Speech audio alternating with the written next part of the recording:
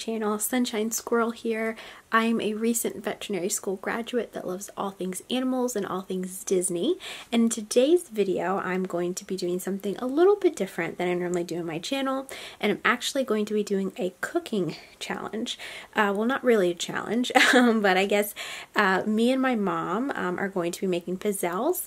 Um, it's an Italian cookie and it's my great grandmother's recipe. So I hope you guys enjoy that this uh, recipe that you guys find it delicious. Uh, let me know in the comments below if you guys have any questions and I'll put the link uh, to the recipe in the description bar. So without further ado, let's get into the kitchen. So guys, we're in the kitchen now with my mom. So mom, tell us what goes in these pizzelles. Flour, Mm -hmm. sugar, Mm -hmm. eggs, butter, baking powder, and vanilla. Or if you don't want to use vanilla, you can use almond extract or anisette extract Mhm. or lemon, whatever you prefer. So pretty simple, not too complicated. Yeah. So mom, where does this recipe come from? Well, the recipe comes from my grandmother. Mm-hmm. It's an old recipe. Uh, she was born in Italy, Veroli, Italy, Mm-hmm. and I believe that was what her mom made. Mm-hmm. And um, before she passed, my aunt wrote down the recipe Mhm. so that we would be able to have it and use after she died. And this is a recipe that you enjoyed when you were growing up, right? Yes, Grandma would cook it all the time for all the holidays Mhm. and wherever. I can remember lots of weekends going up there helping her cook the pizzelles Perfect. because it takes a lot of time on the on the waffle maker. Mm, And. I'd be the one who would have to be doing that. Gotcha, gotcha. So an important thing that we forgot to mention that you need with this recipe as well is a pizzelle maker, correct? Or can Yes. you use something else? No, you definitely need the pizzelle maker. Okay, and we actually have one uh, that we recently got as well. So mom, why don't we get started? Sounds good. All right, let's go. What do we need? All right, we need to measure out the flour Okay, and the baking powder. They go together. okay.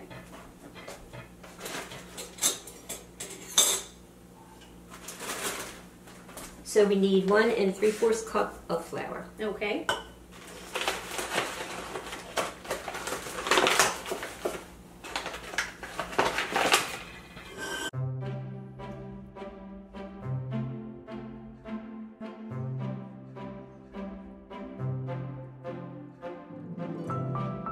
So you do the dry ingredients first, Okay. Which would be the flour and the baking powder. All right. And you put them in one bowl.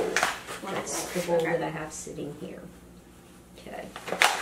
And when you measure out the flour, be sure you shake it a little so that it is definitely showing. Well, this is an eight ounce thing, so this would be one cup. So this Okay. is a little too much. See there the line? Gotcha. Does So it have to be what- exact, or is it? Does it mess It it, up would if be- it's not? I don't think it really messes it up, but you shouldn't really go way over. Gotcha. So that I would say would be one cup, Perfect. and then we'll do three fourths cup, which is up here, six Okay. ounces.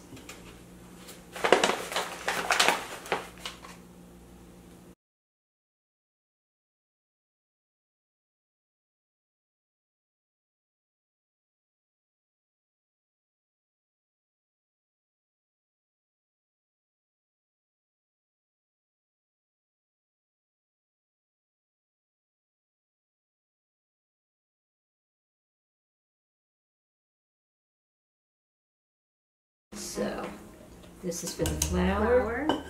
and then we need the baking powder. Okay. It's two teaspoons of Okay. baking powder.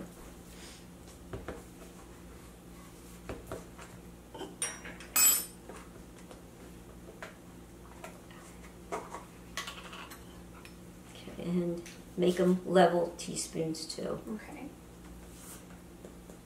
What some people do is they take a knife and they, Mm-hmm. you know, Shave it across. yeah.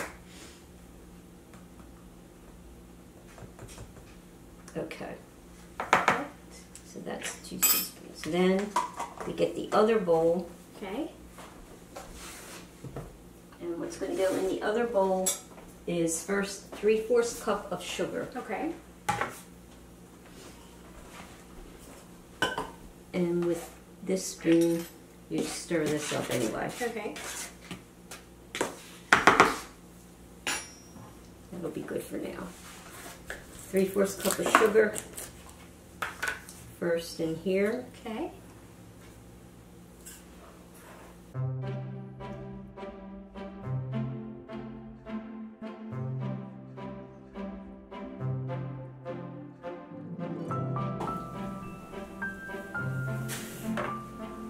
The eggs also will go in here. Okay. So do you have to use a blender or a mixer when you're No, you don't these? because you're going to be melt.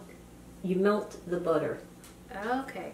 and so you don't really need to use a mixer. Okay. You can just stir it by hand, Gotcha. and then you just make it. You just stir it enough so that it's smooth. The batter Okay. is smooth. No lumps or anything Right. like But see this? I'm going to put it in the microwave for a few seconds so the butter will be melted. Gotcha. And you put that in with the eggs and the sugar. Okay. And it's three eggs Okay. go in here. Yeah.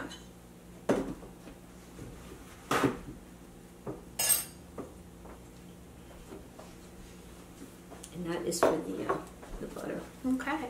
All right, so three eggs here. Let's see. You can use Yeah. regular eggs if you want. We use egg beaters. Doesn't matter, right? Right. Pour that in there. All right. And next I'm going to melt the butter. Okay. Okay, so our butter is melted Okay, now. Okay, so we melted the butter and we're going to put this in the uh, sugar and the eggs. okay, And then we're going to stir that up. perfect.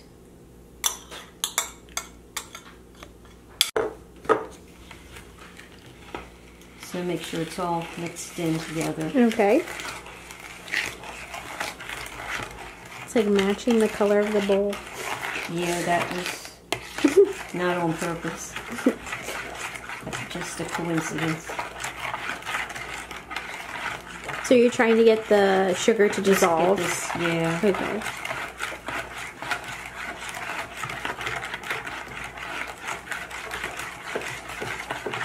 Doing is adding it into the flour Okay. and the baking powder. So we're just combining the wet and dry. Yeah. Okay.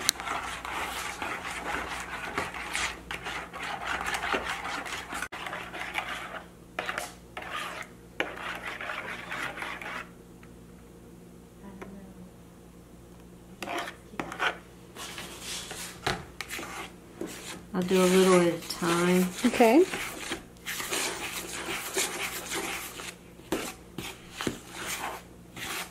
And what's the consistency of the batter that like you want it to be? Like Um, cookie dough thickness, or does it tend to be like a thinner batter? I'd say a little thinner. Okay. It should be not lumpy. Okay. So maybe like a pancake batter, kind of. Uh, yeah.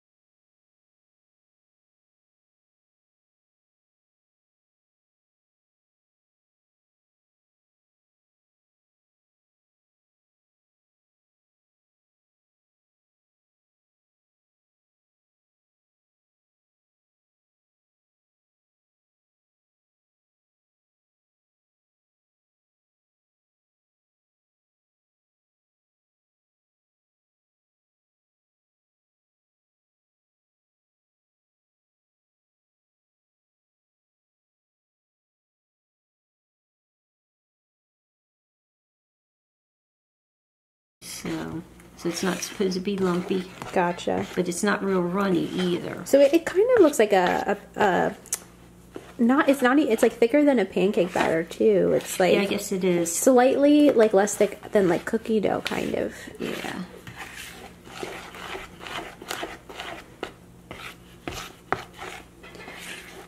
And then we can put in the uh, flavoring that we're going to Okay. use and mix it in some. So we're going to put one tablespoon of vanilla flavoring, but like I said, you can put almond, anisette, lemon. Gotcha. And you tend to do a little bit more of than one. Yes, I'd like to put a little more. I do like vanilla taste. Okay. And then you just mix it up some more Okay. so it blends all in the batter. And is there anything that you like tend to eat with these cookies or serve with them, or do you just tend to eat them as is? No, I've just always had them as is. Perfect. Ooh, smell the vanilla. So you just continue to blend it in, Okay. stir it, the flavoring in, and that'll just make the batter. I'll make sure that will ensure that it's not lumpy. Gotcha. Oh, we need to turn on the pizzelle maker now. All it right. needs to be hot. And so we plug that in. Okay.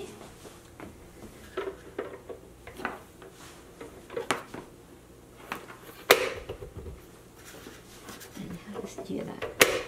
So when you plug it in here, the power light turns on. Okay. And when it is hot for you to start baking, Mm-hmm. this green light will come on. Okay. Do you need to adjust the dial at all, or? I'm going. The dial is. It has five settings. Okay. I'm going to put it at three Okay.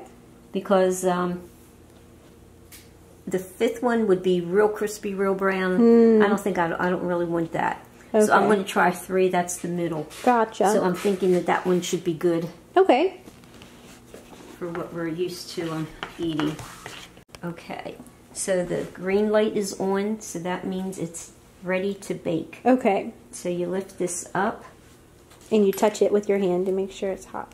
No, you don't touch it. you can feel the heat though. And you they provided a little scooper here Mm-hmm. and you use this.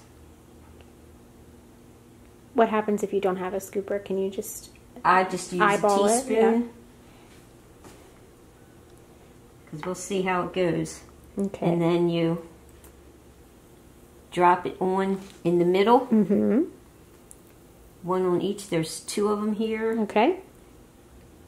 And it just kind of spreads out when you close And when it. you put the lid down, Mm-hmm. it'll spread out and if it overflows a little because I'm really not sure how much to put on this one Okay.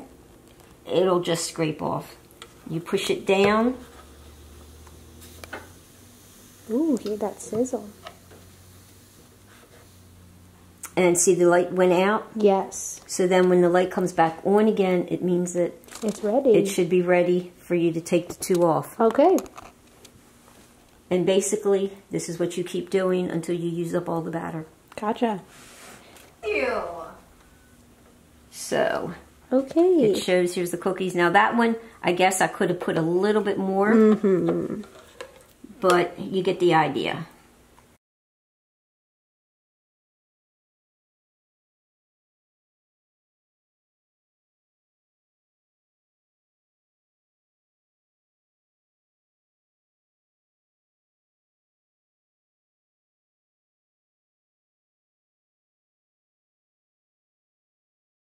So how many cookies can you make with this batter? about four dozen Okay. Okay, so I put it at four, All right. and then we'll add two more on. All right.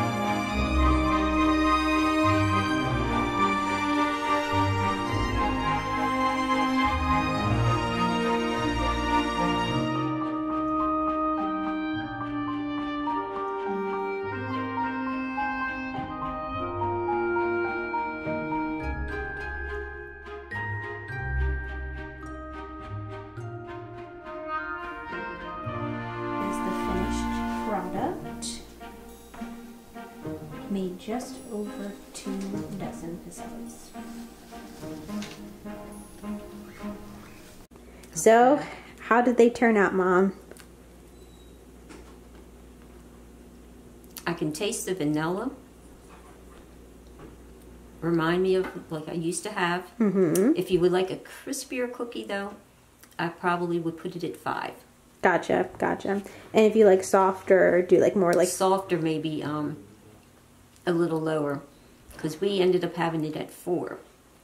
gotcha. Okay. And some pizzelles that you, um, I think, are a little crispier. Perfect. Well, success.